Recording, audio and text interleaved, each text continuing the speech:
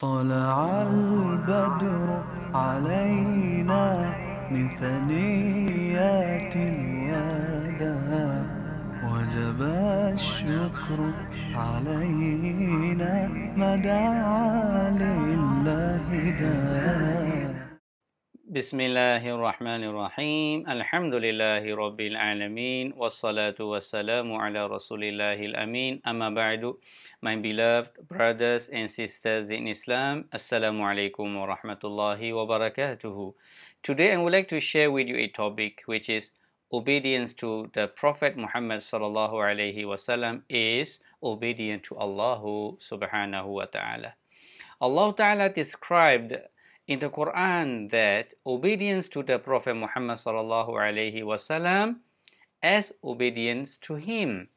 And Allah Ta'ala made a connection between obedience to him and obedience to Prophet Muhammad sallallahu alaihi wasallam. Allah Ta'ala says in chapter 4 Surah An-Nisa'i verse 80 من يطع الرسول فقد أطاع الله It means that he who obeys the messenger Muhammad sallallahu alaihi wasallam has indeed obeyed Allah. And also Allah Ta'ala described in another verse that whoever wants Allah to love him and to forgive his, his sins he must follow the messenger of Allah Muhammad sallallahu alaihi wasallam. Allah Ta'ala says in chapter 3 Surah Al Imran verse 31 قل إن كنتم تحبون الله فاتبعوني يحببكم الله ويغفر لكم ذنوبكم والله غفور رحيم It means Say, O Muhammad sallallahu alayhi wasallam to mankind, if you really love Allah Ta'ala, then follow me. Follow Muhammad sallallahu alayhi wasallam's teaching. Follow his sunnah. Follow the Quran. Follow the Islamic monotheism. Then Allah will love you and Allah will forgive you and Allah is oft forgiving, most merciful.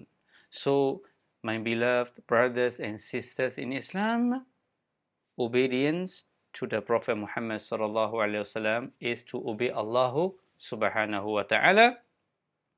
To really love Muhammad sallallahu alaihi wasallam, if you love him, you must witness by your action to follow his teaching. Whatever goes against his teaching, whatever goes against the Quran and the Sunnah of Muhammad sallallahu alaihi wasallam, that is not the way of Islam. To love Rasulullah sallallahu alaihi wasallam is to fo follow him, to obey him, and to obey him is to obey Allah subhanahu wa ta'ala. والله تعالى أعلم وصلى اللهم على رسولنا محمد وعلى آله وصحبه أجمعين. السلام عليكم ورحمة الله وبركاته. أيها المبعوث فينا جئت بالأمر المطاع.